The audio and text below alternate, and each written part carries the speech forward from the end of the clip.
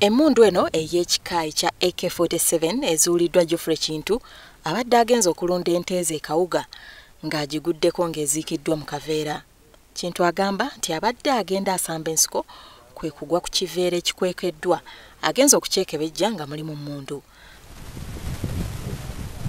Atwala poliisi y'e mukono rest kansiime ategeezezza ng'emmundu eno bwesangiddwa n'amasasi asatu mu abiri era ng'agamba erabika okuba emu ku ezo ezibadde zitigomya bannamukono n'ebitundu ebiriraanyeewo omuntu ono kitegeeza ti yali mutuufu alina okuba yali mubbi alina okuba yatya nga amaze okulaba oba abasirikale bali ku patro emundu eno n'agisuula wano.